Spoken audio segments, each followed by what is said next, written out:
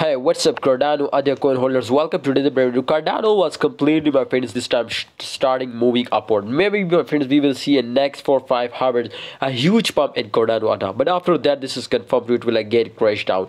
Remember what was the next movement? What was the price target? Everything I will tell you. But remember guys if you are new my channel and if you want unlimited VIP signal then join my telegram group but subscribe this channel for urgent prediction technical analyze video of altcoins and also for future trader this is very amazing channel so subscribe it guys you can see this time the volume 12.61 percent it was increasing. So this is this is that's mean this, this time buying rate is very high in all crypto market. So this is uh, very important for everyone to never miss this uh, trade now. Crazy trade okay this is crazy trade uh, take entry in long position. I hope my friends you will get a very good profit from ADA but this time my friend as you can see there is this the uh, support line it was very close to uh, the support line. So this is confirmed this is true. If this was be uh, crash also my they will be take a short form or retest when it was crashed it was break the support line.